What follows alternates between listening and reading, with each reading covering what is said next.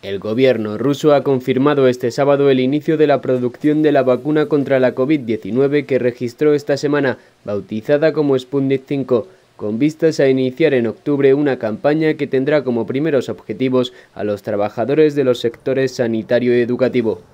Las autoridades consideran que su seguridad y eficacia están ya probadas, algo que defendió el presidente Vladimir Putin al anunciar esta semana el registro de la vacuna, y su inmunidad sería de dos años según la agencia Sputnik.